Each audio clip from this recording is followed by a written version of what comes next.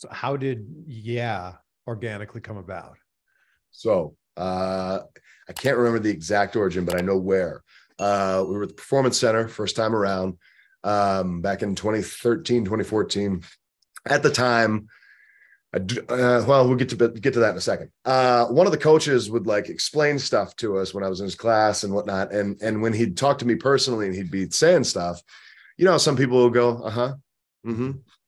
I would keep just going, yeah, yeah, and he kind of like almost took offense, but like in a joking way, where he's just like, you know, what, what you, and and so I leaned into that. So now he would be saying stuff, and I'd just be like, yeah, like kind of like, duh, yeah yeah. And so now, I'm, one of the things that I was very quoted as saying walking around the PC back in 2013, and I don't even remember why, I have no idea why, but I would just be like, everybody. And I mean, everybody from top to bottom in the PC would just be saying it at random to me. So now, like, if I would walk in the building, a handful of people go, everybody. And so I felt weird saying it back to them. I would only say it if it like came out or whatever. Yeah instead of just I don't know, it would give me douche chills if they said something to me and I said it back. douche chills. So, so, so they give me, so they give me everybody, and I would go, yeah.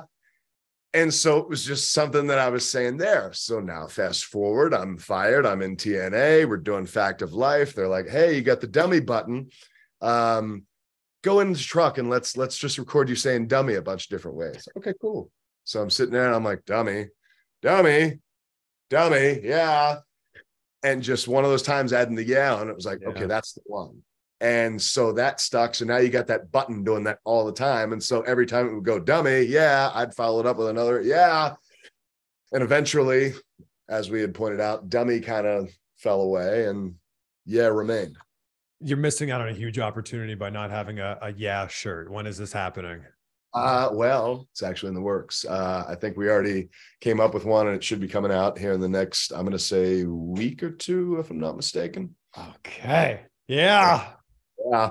Oh, if we were to have a match with LA Knight, sunglasses too, but they don't say yeah, it's just LA Knight. It's like the ones that I have, but they have LA's on them. Go. Oh, this, this is just branding brilliance here. I love it.